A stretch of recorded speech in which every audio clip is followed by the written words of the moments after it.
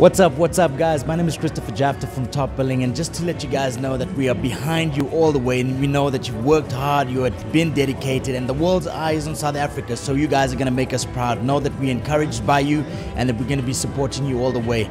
In order to play to your full potential, you must prepare for every eventuality, and that means practice, something which you guys do day in, day out. We're excited to see you bring some medals home, man. Good luck.